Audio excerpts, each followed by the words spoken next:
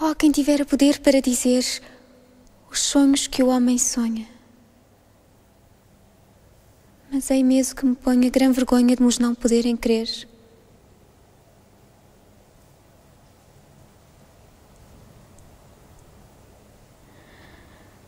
Sente bandar às maldades do mundo e particularmente as de Portugal.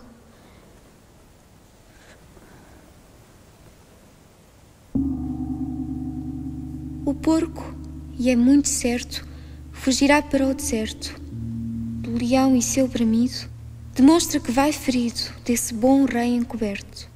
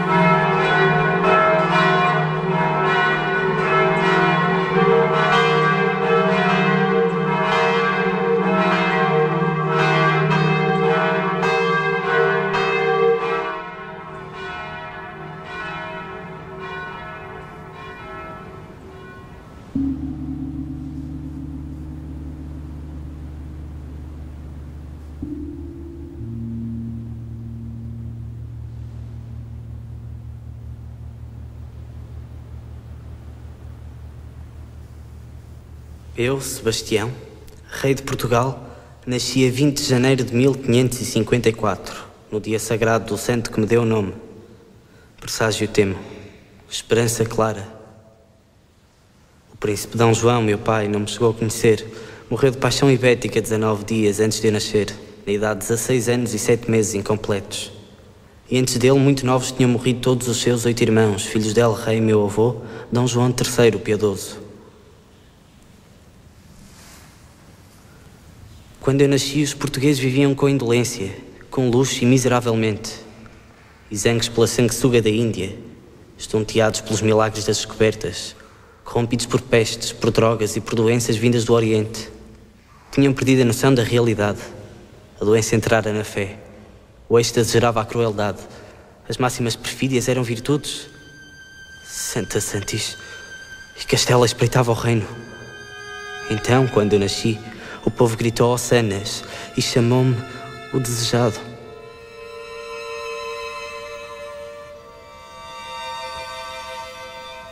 E vós, ó bem nascida segurança da lusitana antiga liberdade, e não menos certíssima esperança do aumento da pequena cristandade, vós, Ó novo temor de amor a lança, maravilha fatal da nossa idade. Maravilha fatal da nossa idade, dada ao mundo por Deus que todo mande, para do mundo a Deus dar parte grande.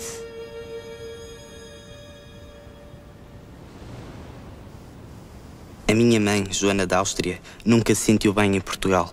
Altiva e distante recebia o ódio dos portugueses. Abandonou-me ainda eu não tinha quatro meses de vida e fiquei entregue aos cuidados dos meus avós, Dona Catarina e Dom João III. Fugiu para os braços de seu irmão e meu tio Filipe, filho do imperador Carlos V e futuro rei de Castela, por quem tinha uma paixão incestuosa. El Rei, meu avô, era duro, reto e simples como ser medíocre. Contaram-me que aos 12 anos lhe tinham dado como brinquedo um convento. Altares, imagens, frades e rezas eram os seus jogos infantis. A piedade avassalou-lhe o ânimo. Um verdadeiro chefe religioso coroado. Trouxe de Espanha os jesuítas, fiscais tenebrosos da atividade intelectual. Por rios de dinheiro que enviou ao Papa, conseguiu finalmente estabelecer a Inquisição em Portugal em 1597. Os cães de Deus vieram acender a fogueira onde judeu ardia. Altos de fé era o seu divertimento favorito e toda a corte lhe seguia o exemplo.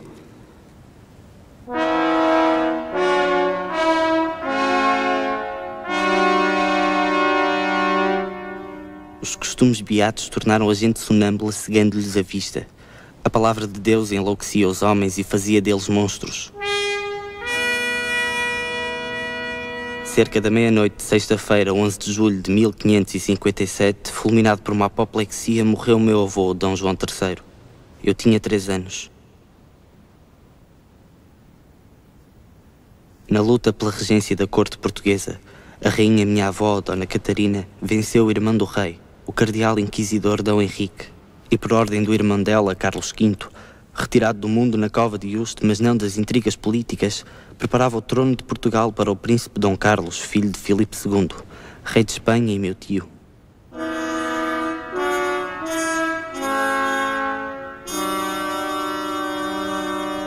Mientras que el Señor le diese vida, tiene poco que temer y que avisase de lo que parecía que se debía hacer porque lo que él lo mandase se obedecería por ella.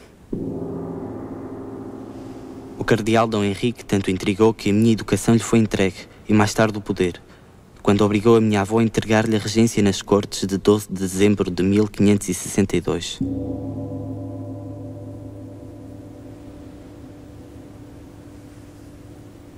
Que El Rei Nosso Senhor tanto que for de nove anos, se tire dentre as mulheres e se entregue aos homens. Que ao rei vista a portuguesa, coma a portuguesa, cavalga a portuguesa, fala a portuguesa todos os seus atos sejam portugueses. E com isto fareis hábito para que grande amor ao reino e coisas dele. E quando a educação ficou pronta, entreguei o poder ao pequeno rei. A 20 de janeiro de 1568, no dia preciso em que completava 14 anos. Assim, tinham deliberado as cortes de 1562. Assim, eu o tinha jurado, e sem condição alguma e sempre servirei e obedecerei ao dito Senhor como seu bom e leal vassalo. Eu era um rapaz antes baixo que alto, ruivo de olhos azuis com a tez branca pintada um tanto de bexigas, e o beiço inferior grosso dos Habsburgos, cujo sangue tinha de minha mãe. Inquieto, nervoso, doentio, um desequilibrado. Eu tinha todo o lado direito maior que o esquerdo, a mão, o braço, o flanco, a perna e o pé com um dedo a mais. As minhas pernas eram excessivamente longas para a dimensão do tronco. Tinham tal horror a mulheres, corriam tantas versões sobre mim que a de menor importância era dizer-se que a castidade me era fácil.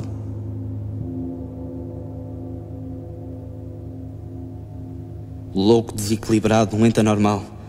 Mas ao mesmo tempo eu era o representante simbólico das aspirações de um povo. Contra a cobiça de Castela e contra as arremetidas dos infiéis. O ardente fanatismo muçulmano ao pé da porta e as agrestes rajadas calvinistas e luteranas que sopravam do norte.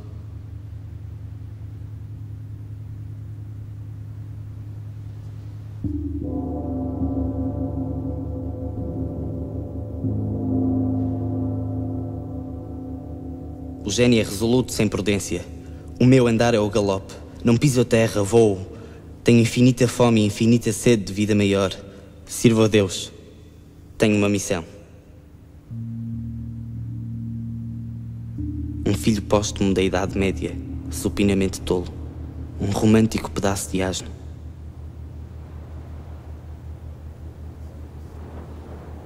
Porque sou casto e ardente, sofro de espermatorreia desde os 11 anos e porque sou diabético tornei crónica uma ureterite banal.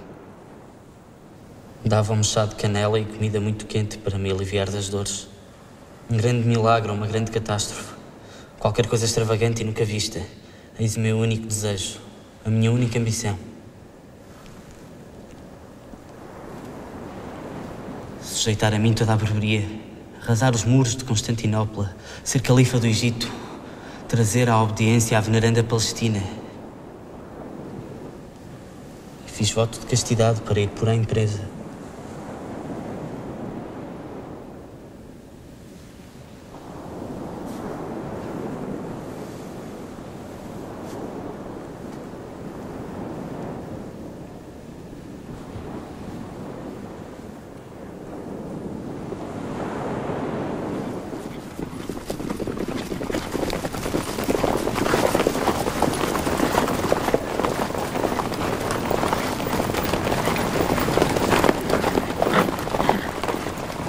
Meter Portugal pela África dentro. Pelas armas impor a fé ao amor e fiel. Impedir o avanço turco e trazer o pão e a vaca para esta nação arruinada pela peste e pelo ruído cadáver do Império Alemar.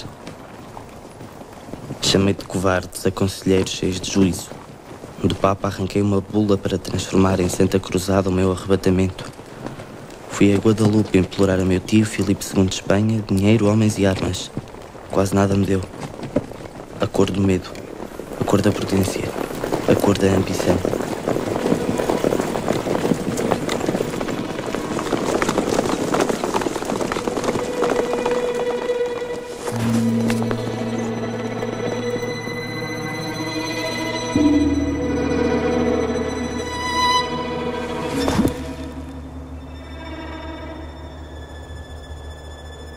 Então inventei dinheiro e inventei soldados.